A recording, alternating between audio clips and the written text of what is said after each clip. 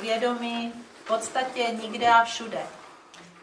Duše, když my říkáme, že je to vlastně kapička, tak je to jenom informace pro hlavu, aby to hlava mohla vůbec nějak střebat, že je tady to všechno a pak ještě ty kapičky, ale v konečném důsledku je to prostě energie, která je opravdu všude. Z pohledu jedince, takže je to otázka z pohledu jedince, takže teď bude odpověď eh, z pohledu jedince, tak je to, když jste nikde nesídlí. To není místo, někdo říká v srdci. Zase je to jenom informace pro hlavu, eh, aby, aby ten člověk, že se vlastně, že obrací tu pozornost do svého srdce, ale ta duše, ona je opravdu všude. Takže když eh, jste vědomým pozorovatelem a je tam hned i vycitována vlastně ta existence, ten pocit existence, tak v podstatě to jste vy, to je ta duše. A kde vy, kde je zaměřená pozornost, tam ta duše je. Takže pak, když je vy byste uh, si dali místo, že je v patě a budete tam mít tu pozornost, tak bude v patě. Ano?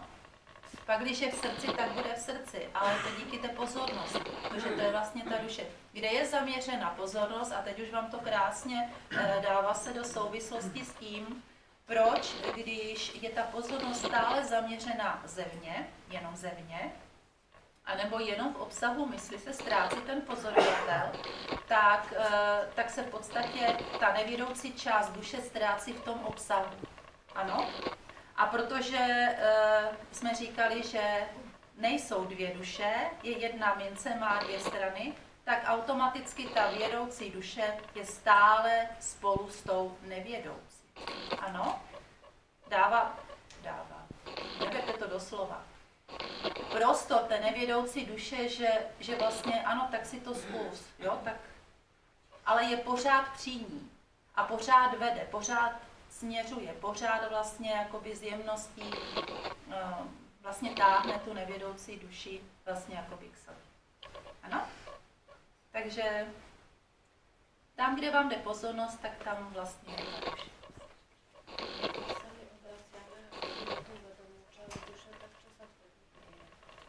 No, když obracíte tu, když ta pozornost se obrací k sobě, tak jste vědomě tou duší. Jste vědomě tou duší tak jste tím, kým jste.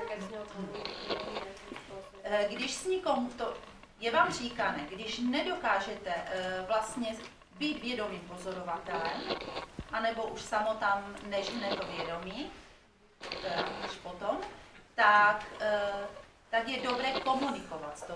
Čili ta nevědomá část Čili ten obsah mysli komunikuje s tou vědoucí částí duše. Je to ta oddělenost, ale už když s někým komunikujete, tak už tomu předsedáváte pozornost.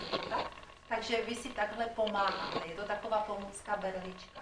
Když to nejde, je lépe být vědomým pozorovatelem bez slov. Pokud to nejde, komunikujte.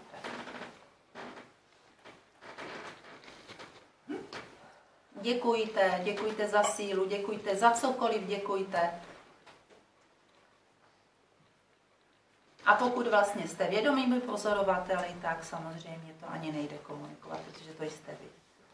Hm? Jenom když jste vlastně v té oddělenosti a nejde to v té chvíli, tak komunikujte. Ale bez personifikace, bez představy.